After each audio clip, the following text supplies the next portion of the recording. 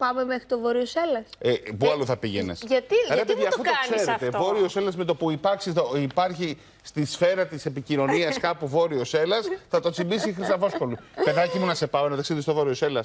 Ναι, παιδί μου, να με πας. Εδώ βλέπουμε μία έκρηξη. Τη βλέπεις συχνά δηλαδή. Όχι, αλήθεια είναι πως όχι, είναι εντυπωσιακό. Για, για δώσε, τι είναι αυτό που βλέπουμε; Εδώ βλέπουμε λοιπόν έχει τραβήξει Τι λες ένας τώρα; κύριος με το κινητό του. Στο TikTok το έχει ανεβάσει. Είναι μια έκρηξη στο Βόρειο Έλλα. Μια εικόνα που βλέπουμε πολύ σπάνια βέβαια. Δεν είναι πολύ συνηθισμένο όλο αυτό. Έτσι. Η έκρηξη.